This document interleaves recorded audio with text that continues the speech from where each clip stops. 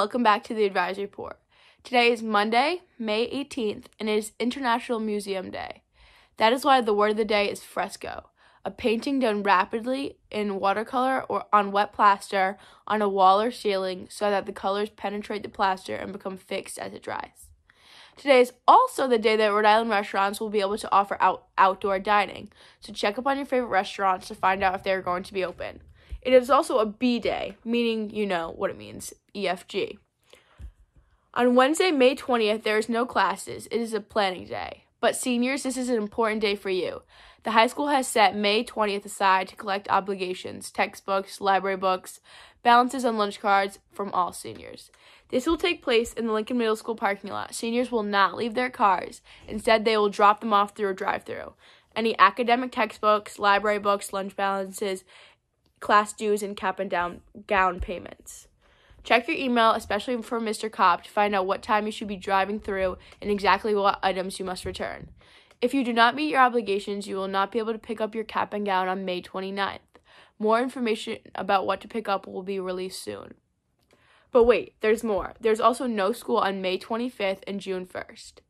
June 1st is also the day of the virtual athletic bank awards banquet. Mr. Connor will be sharing more information on that in, in the coming days.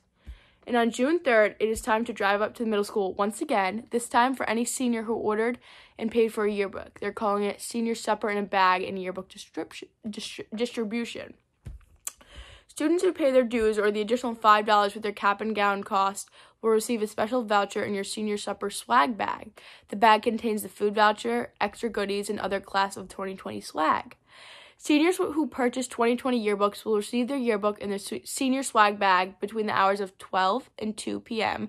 at the middle school. Included in the yearbook bag will be instructions on the virtual yearbook signing, allowing seniors to have their book signed by their classmates and teachers. Seniors starting with the last names A through M must drive through between noon and 1. Seniors with the last names with M through Z will drive through between 1 and 2. This event is a collaboration between the senior class and the yearbook committee. There will also be virtual messages from your class and president and vice president, as well as the senior editor yearbook message. The yearbook, the yearbook dedication will be at 5 p.m. to kick off your senior supper night. In keeping up with this graduation motif, the Journalism Broadcast Academy continues with its scoop on seniors. This week's scoop is on Olivia Wadagaza and Odessa Shabo. Olivia Wadagaza, Wadagaza, Wadagaza, I don't know what I'm saying right now, is an accomplished writer and broadcaster who is a gifted editor in both mediums. Voted the Rhode Island Journalist of the Year before the fateful day we were asked to not return to the high school, Olivia represented the state of Rhode Island well in the National Scholarship com- Competition. We've all seen Olivia host the advisory report on numerous mornings and have enjoyed some of her public service announcements, most mo- notably the Dance Season and Spirit Week videos. Her stories on the academic effects of divorce on students and the role of women in modern society really set her apart as a talented writer.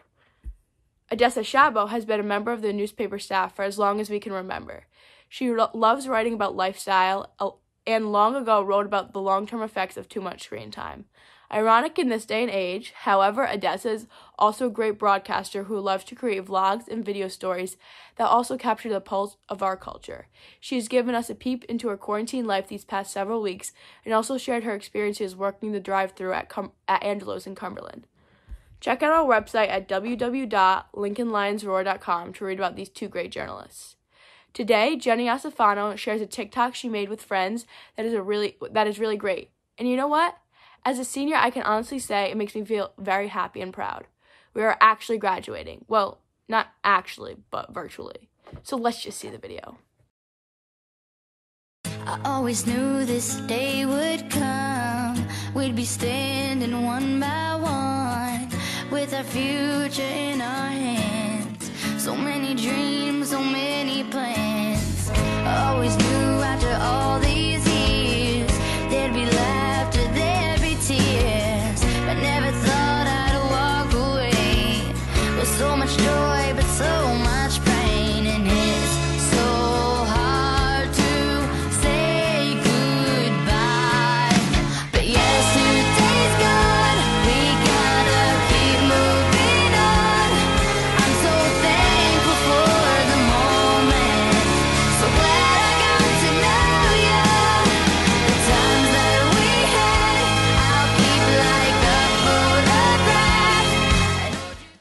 Thank you, Jenna. And if you want to celebrate International Museum Day, go to travelandleisure.com for 12 virtual virtual mu- museum tours you can take to celebrate.